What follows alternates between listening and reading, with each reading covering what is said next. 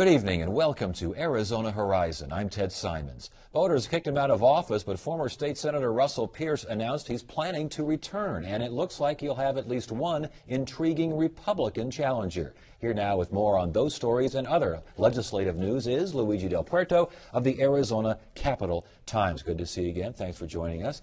Uh, this announcement by Russell Pearce, not necessarily a surprise. It's not a surprise. Uh, we've uh, learned about his announcement about two weeks ago. I think he let everybody in the state know that he was going to announce something, and the only reason why he would be announcing would be his, uh, would be that he is running.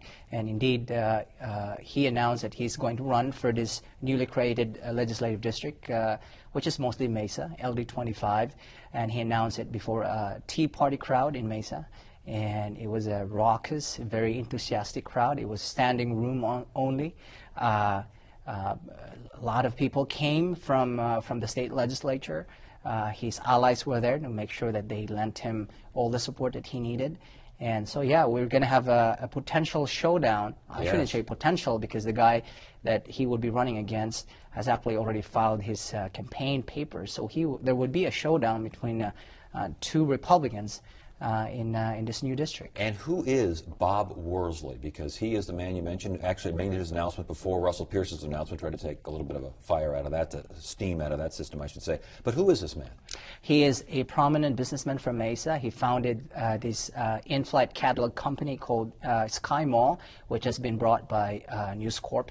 and he, he's a very successful businessman. He's also a prominent Mormon in the community. He served his mission in Uruguay and Paraguay. Uh, so he's, uh, he actually speaks uh, fluent Spanish. and right now, I, if I'm not mistaken, he's actually the president of a Hispanic ward in, in mm-hmm. Mesa. Interesting. All right, so you've got the two heavyweights there, but uh, well, who should be an incumbent is Rich Crandall. I mean, he's the guy who should be running for a seat. Not going to run. He's not going to run. Uh, uh, he has this. Uh, he was accepted into a PhD program at Vanderbilt University, which is a pretty prestigious university, and so he would be required to fly to uh, Vanderbilt every two weeks or so. That so that would be a complication for him. Uh, I think the other big reason is the fact that he would be running against Russell Pearce. His wife uh, basically didn't want him to go through that, and he decided against it. Interesting.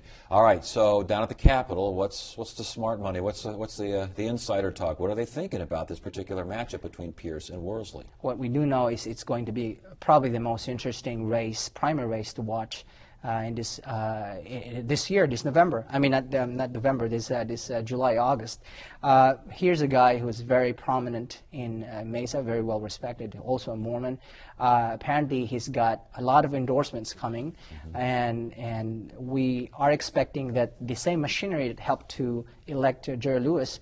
to become Senate President and defeat Russell Pearce would also be working to get Mr. Worsley elected. So it's going to be a pretty a pretty uh, well-matched uh, contest, I think. All right, we'll see how it works out. Uh, real quickly before you go, this this business of letting religious companies opt out of, of buying insurance that covers contraception, getting a lot of play at the Capitol. What's the latest on this? Well, the latest is that the bill is actually right now being held in the Senate rules.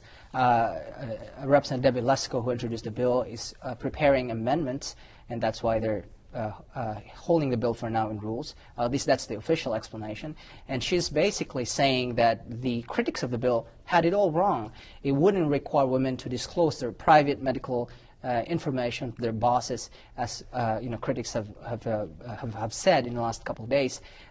she said they would be required to disclose this information to their insurance companies, and not to their to their bosses. And that's only that that will only happen if the women uh, would still want to get contraception coverage uh, under this bill. Okay. So, and she's basically saying this is a religious freedom issue, not necessarily a woman's rights issue, correct? That, that's her. That's and and her and the other supporters of the legislation, including Center for Arizona Policy, that's their uh, main argument that this is nothing to do with uh, precluding a woman from, from getting contraception. This is about the employer's right uh, to uh, you know, protest or to relay their religious objections to contraception.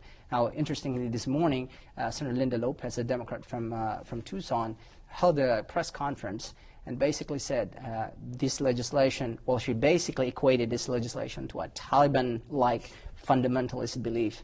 Uh, uh, which is uh, interesting because in a way it heightens everything up and, Mm-hmm. and uh, it, it- this really wades into the cultural war that we're seeing at the national level this is you know we're, we're seeing it at the national level and now we're seeing it in Arizona So real quickly, we got John McCain on national television saying the legislature should drop it. We got Governor Brewer kind of suggesting that she's not all that excited about this particular piece of legislation. Is something like this going to make it out of the uh, out of the legislature? That's really a very good question. It depends whether this bill actually gets out of rules. Right, right now, it's being held in rules. If we see it moving, then uh, my presumption is that it might actually get out of the, of the Senate and therefore uh, get out of the legislature. All right, good to see you, Luigi. Thanks for joining us. We appreciate it. Thank you.